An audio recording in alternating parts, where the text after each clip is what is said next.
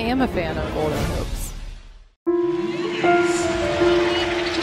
Last night in Texas for the G League, Long Island Nets. Tonight for the Brooklyn Nets. Wade sticks it from long range. 25 for Dwyane Wade, 11 rebounds. Wade peaks at the clock.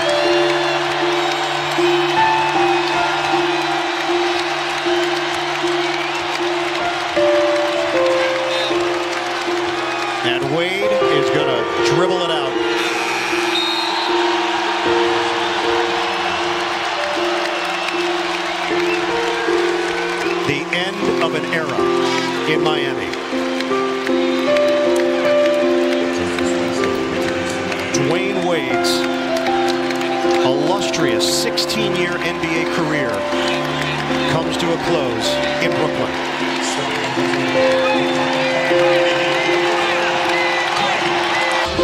They have formed a circle around those four and the bond that they share. So as Wade and his friends huddle up for pictures, They Get it to Kobe. Again, Utah has no timeout, so they have to foul. And Bryant will come to the line for a 60-point game.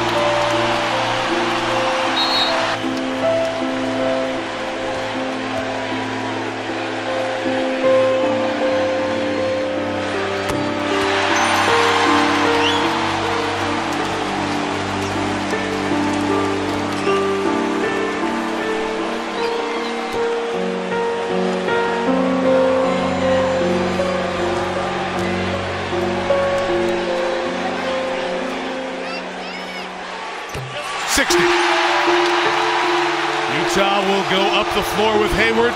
13 seconds left. Hayward on the drive. Layup no good. Rebound gets in the hands of Kobe. Throws it ahead to Clarkson. And Clarkson will dunk it. 4.1 to go. Timeout, Utah.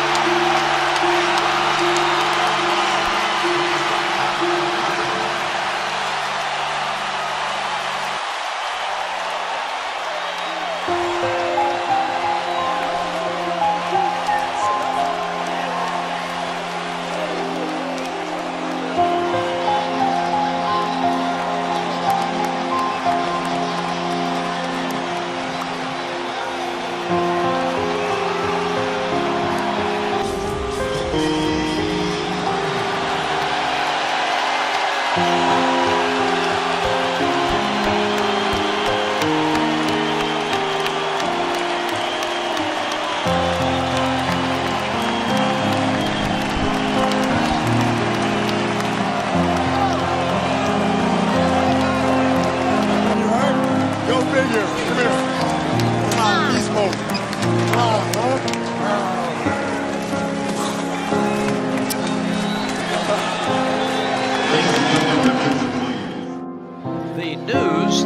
be talking more about in Hawks Live postgame is the fact that the Vince is getting ready to check back in so the fans get their wish. But the news is that the NBA has announced tonight that it has suspended its season until further notice. Now we'll have more details coming up in Hawks Live postgame.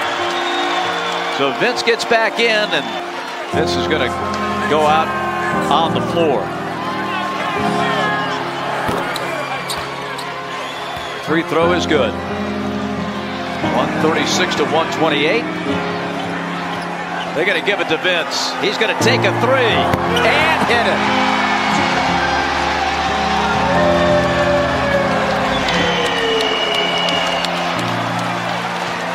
Even the Knicks are applauding.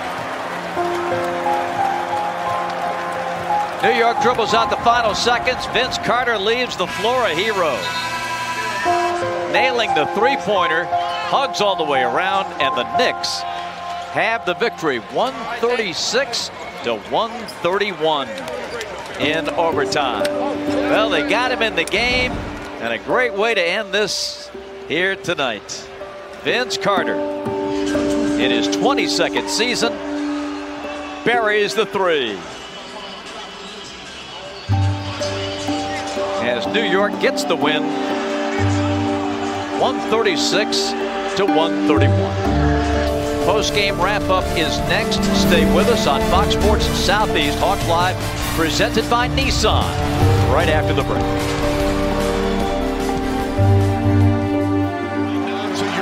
If somebody else shoots at me besides him,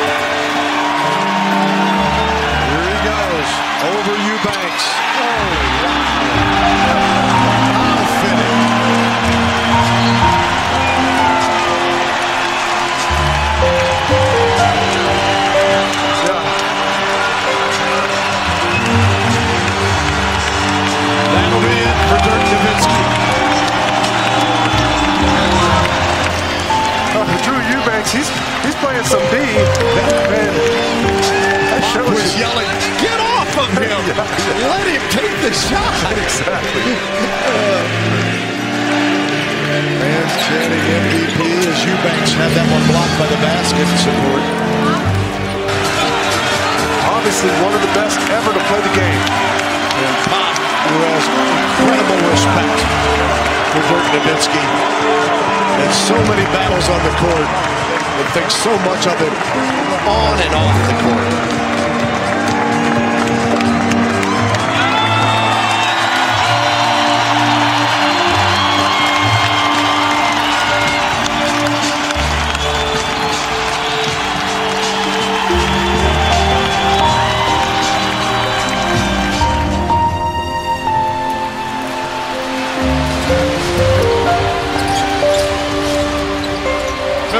Inside. Duncan finishes on a beautiful feed, and it's a 13-point game.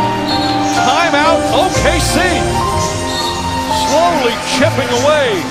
Tim Duncan with his best game of the series. He's got 19. Oh, oh, Look at those numbers.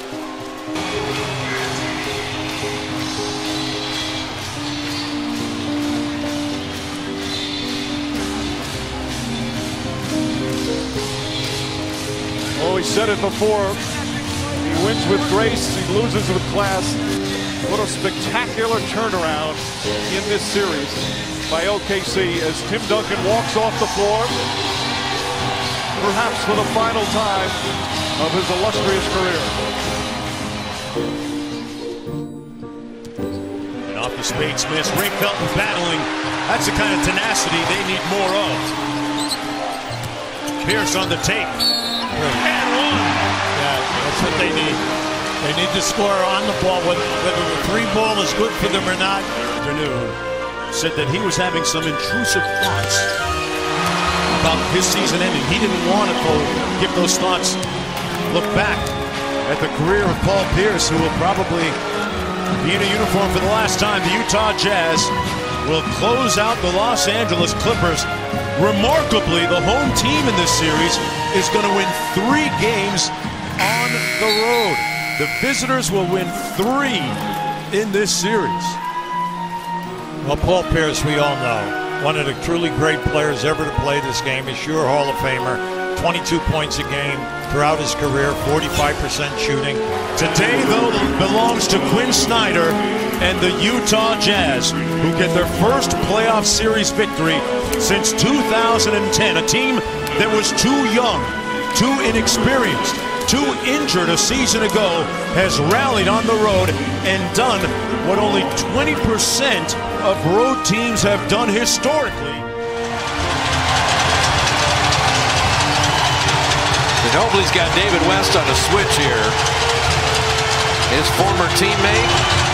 And he got to the rim on the right side. Well, he forced him right, and that's what you have to do. I know what you're all thinking. Is this the final game for Manu Ginobili? He's made of magic. There's just no other explanation for Manu Ginobili. At 40 years old and nothing left to prove in this game, he just never quits. A superhero in silver and black. Uno, Mas, Manu, forever. You have Manu Ginobili, who's been the heart and soul. So proud to have played with those two, and it, it's important in the sense that you know how far we've gone and what we accomplished together.